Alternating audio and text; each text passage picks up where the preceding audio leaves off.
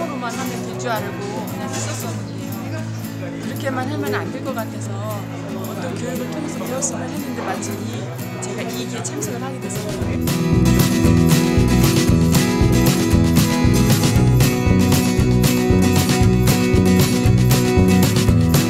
제목 자체가 강한 부부라고 해서 선생님께서 너무 강하지 않냐 그래서 아, 이 글에도 강하자. 그냥 그래서 강하, 강한 부부도 좋습니다. 해서 참석을 하게 됐는데요.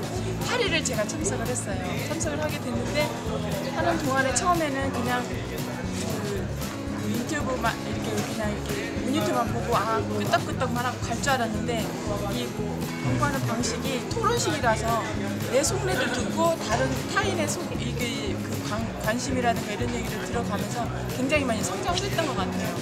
그냥 그냥 무턱대고 잘하는 것보다도 어떻게 잘해야 되는지 과정이 이렇게 현- 현실 과정 결과를 딱 놓고 하니까 너무나 가슴이 와닿았고 눈물이 날 정도로 아 내가 너무 무턱대로 그냥 권력적으로 그 영향을 걔한테 그렇게 했던 것 같아서 그래도 이 공부를 하면서 내가 많이 성장을 하고 지식을 갖고 공부를 얘를 하니까 아도 잘 따라주고 아 그랬어? 라고 빨리 수긍을 하는 느낌을 받아서 이 공부 과정이 참 참석을 잘했다고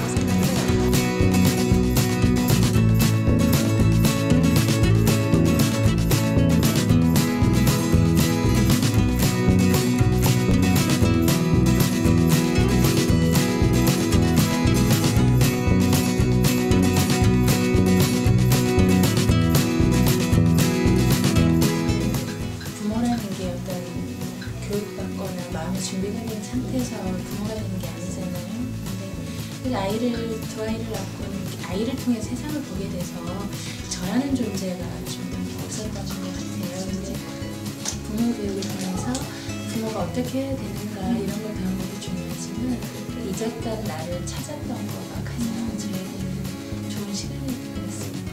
뭐 또 배우면 실천해야 되잖아요. 가족에게 사실은 일방적인 그 관계였다고 할까요? 그러니까 저는 이해했다고 하나 이해하지 않고 저의 소리만 냈던 것 같고 그래서 이 이제 교육을 통해서 경청이라는 부분이 저에게 가장 많이 와닿아서 감정이입이 된 경청이라는 것이 무엇인가라고 배웠기 때문에 가족에게 진심 어린 마음으로 다가가니까 그동안 듣지 못했던 그 소리들이 들리고 서로 공감할 수 있는 그런 가족 관계를 형성하는 게내 저에